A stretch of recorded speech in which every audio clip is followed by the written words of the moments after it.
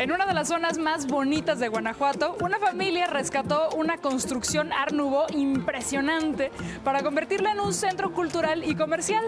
Hoy visitamos Casa de la Presa.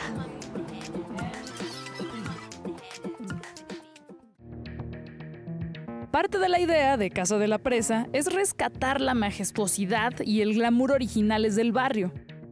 El primer negocio de la casa fue una sucursal de Trinitate, una tienda de cerámica mexicana.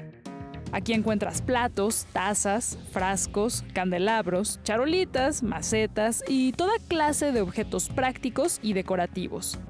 ¿Cuál es la historia de la casa, de la construcción? Fue construida entre el 1909 y 1910 por un ingeniero de minas de aquí en la ciudad de Guanajuato.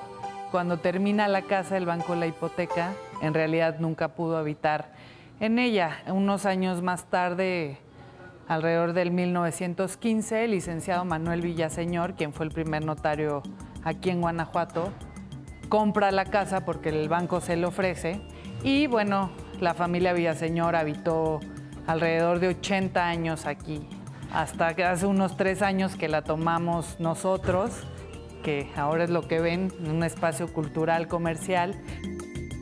El vestíbulo de la planta alta es el espacio más impresionante de Casa de la Presa.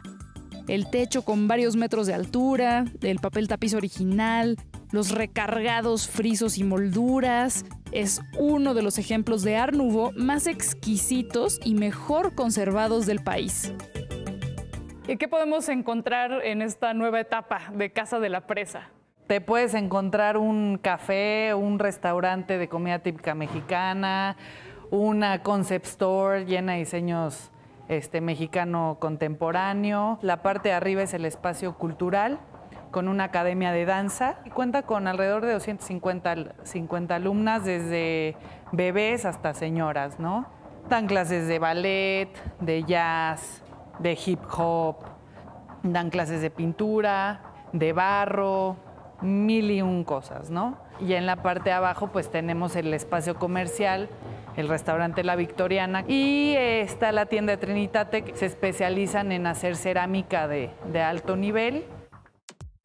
Este es uno de los mejores lugares en Guanajuato para probar repostería artesanal.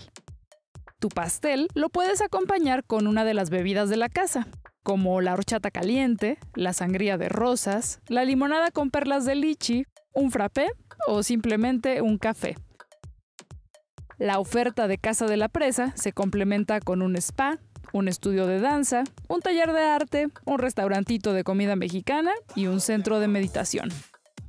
Nada más por la arquitectura vale la pena visitar Casa de la Presa, pero ya que andas por acá, aprovecha para conocer propuestas de arte y de diseño y para echarte un café y un tente en pie.